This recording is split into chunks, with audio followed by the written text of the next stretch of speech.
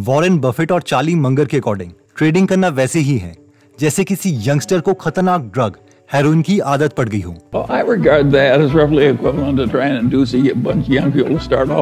Well. लेकिन क्या होगा अगर आपको पता चले कि आपका एक ट्रेडर फ्रेंड 15 से 20 परसेंट एनुअल रिटर्न लेने के बजाय साल का 66 परसेंट रिटर्न ले रहा है यानी आपके गुरु वॉरेन बफेट से भी ऑलमोस्ट ट्रिपल तो आपको कैसा फील होगा?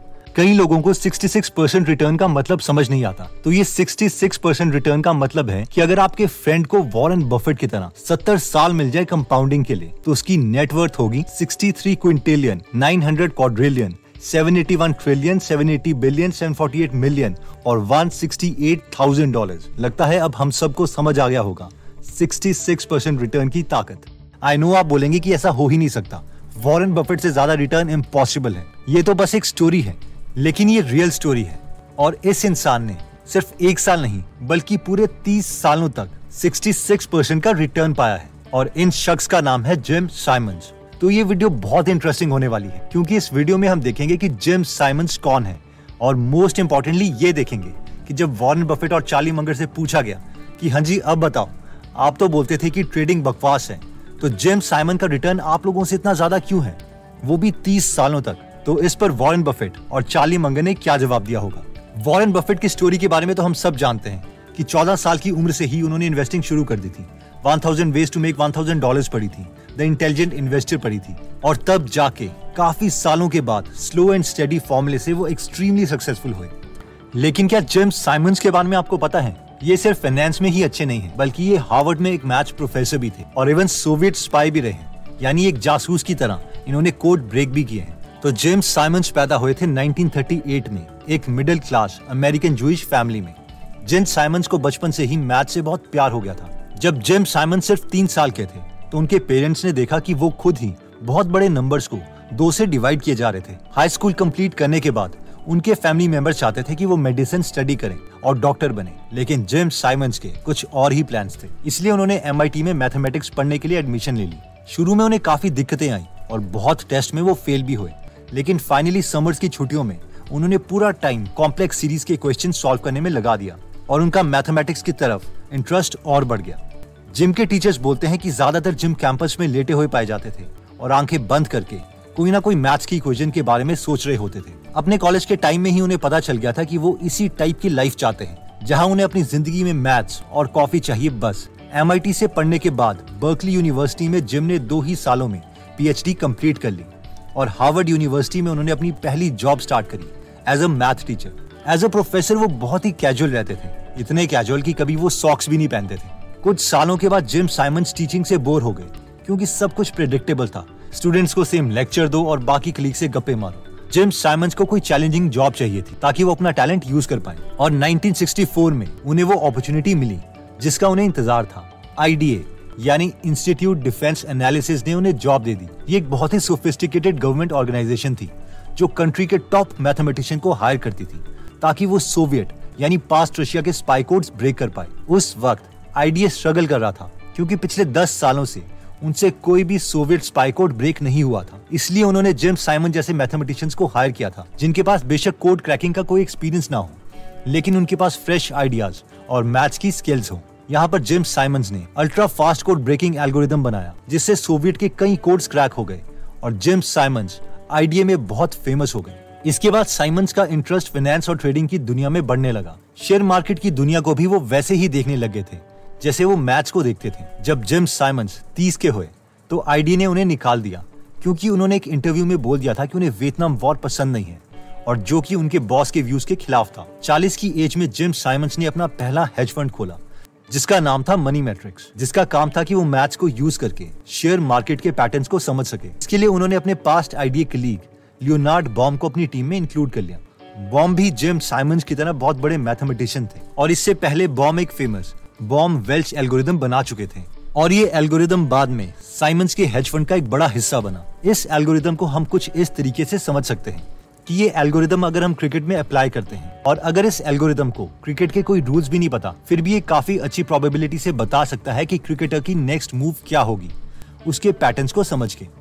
जिम साइमंस जानते थे कि ये एल्गोरिदम वो फाइनेंशियल मार्केट में भी यूज़ कर सकते हैं। इस एल्गोरिदम को यूज़ करके दोनों जिम और बॉम ने काफ़ी पैसे अपने हेज फंड से कमाए। एक बार उनके साथ बहुत ही इंटरेस्टिंग केस हुआ। बॉम और जिम एक बार बीच में रिलैक्स हो रहे थे, और इनके एल्गोरिदम ने प्रिडिक्ट किया कि ब्रिटिश पाउंड की वैल्यू आज रात इंक्रीज होने वाली है और ये दोनों स्विम सूट में ही भाग के अपने ऑफ़िस आए और बहुत से ब्रिटिश पाउंड खरीद लिए। और जैसा एल्गोरिदम ने प्रिडिक्ट किया था ब्रिटिश पाउंड की वैल्यू बढ़ गई और दोनों ने काफ़ी पैसे कमाए। इंटरेस्टिंग बात यह थी कि दोनों को कोई भी ब्रिटिश पॉलिसी के बारे में नहीं पता था और ना ही उनके पास कोई रीजन था कि क्यों ब्रिटिश पाउंड की वैल्यू इंक्रीज होने वाली है। बस एल्गोरिदम की प्रिडिक्शन से ही उन्होंने ये डिसीज़न ले लिया था। इसके बाद बॉम और जिम्स साइमंस ने और अच्छे मैथमेटिशियंस की टीम बनाई और एक खोला लिमरॉय नाम से इस टीम ने नए प्रिडिक्शन एल्गोरिदम्स बनाए, लेकिन इन एल्गोरिदम्स में कुछ कमियाँ थी। फॉर एग्ज़ाम्पल एक बार इस एल्गोरिदम ने प्रिडिक्ट किया था कि गोल्ड का प्राइस बढ़ेगा, इसलिए इन्होंने बहुत सारा पैसा गोल्ड में लगा दिया। और गोल्ड का प्राइस बढ़ा भी, लेकिन ये एल्गोरिदम सारा गोल्ड सेल नहीं कर पाया। और इसके बाद गोल्ड का प्राइस कम हो गया, और इन्हें बहुत बड़ा लॉस हुआ। इसके बाद अब बारी आई इनके थर्ड हेज फंड की, जिसका नाम था रेनेसॉन्स टेक्नोलॉजी और ये हेड फंड एक्सट्रीमली सक्सेसफुल रहा।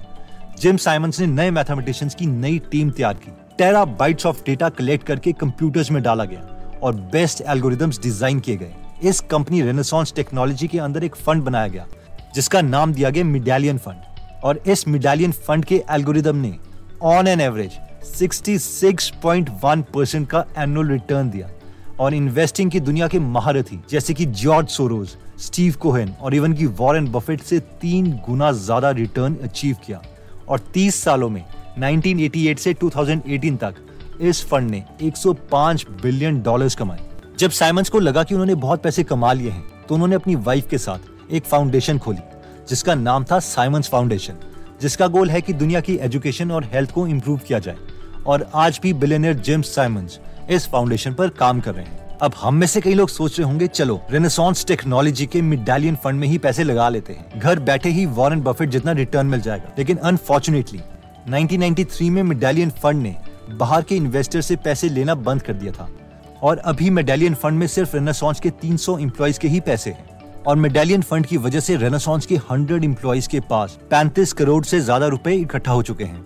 ओके तो अब नेक्स्ट आर्ग्यूमेंट जो ट्रेडर्स दे सकते हैं। वो ये है कि चलो कम से कम एक चीज़ तो प्रूव हो गई है कि ह्यूमन इमोशंस के थिंकिंग का कलेक्टिवली एक पैटर्न है और इसीलिए मशीन लर्निंग एल्गोरिदम्स इसे ढूंढ पाए लेकिन वो बोलते हैं ना कि मशीन का काम ह्यूमन से मत करवाओ Never send a human to do a machine's job. Anyways jokes apart अगर हमें ये समझना है कि हम ट्रेडिंग में हमेशा क्यों नहीं सक्सेसफुल हो सकते या फिर मिडालियन फंड में बाहर के इन्वेस्टर्स पैसे क्यों नहीं लगा सकते इन दोनों सवालों को समझने के लिए हमें एक ही चीज़ समझनी होगी trading versus investing.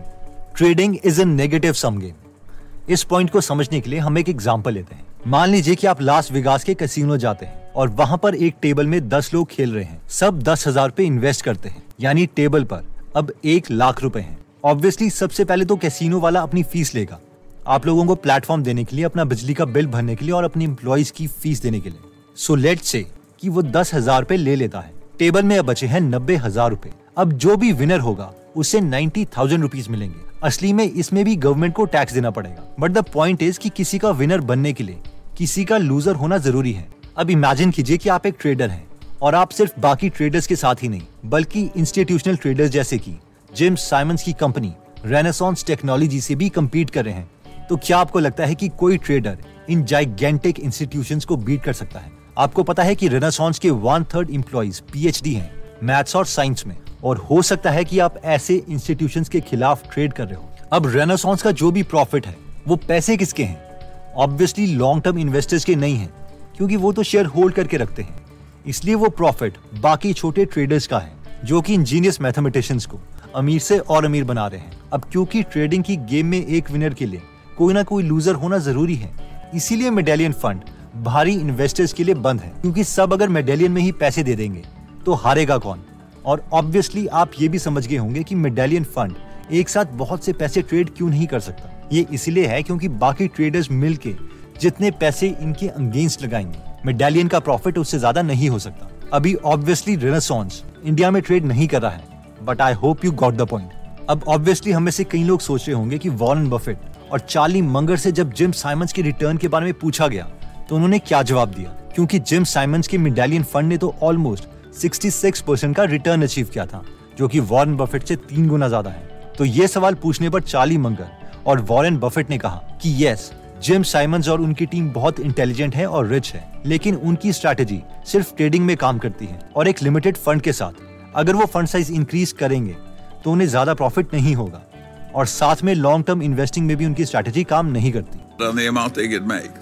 But they were very, very smart. Yes, they got very rich. Very, very smart. And very smart and very rich. Yeah. तो इस पूरी वीडियो की समरी ये है कि अभी भी value investing is the best take your time value investing सीखो और कंपनी की वैल्यू कैलकुलेट करके पैसे इन्वेस्ट करो ना कि यूजलेसली ट्रेडिंग करके तो दोस्तों अगर आपके किसी फ्रेंड या फैमिली मेंबर को ट्रेडिंग में बहुत इंटरेस्ट है या मैच पसंद नहीं है तो ये वीडियो उसके साथ ज़रूर शेयर करें ताकि ये आर्ग्यूमेंट भी हम उनके साथ शेयर कर सकें और होपफुली उन्हें ठीक डायरेक्शन में ले जा सकें अगर आप इंडेक्स फंड पर एक फ्री कोर्स देखना चाहते हैं तो वो हमने अपने दूसरे चैनल गीगल बिज़नेस में अपलोड किया है।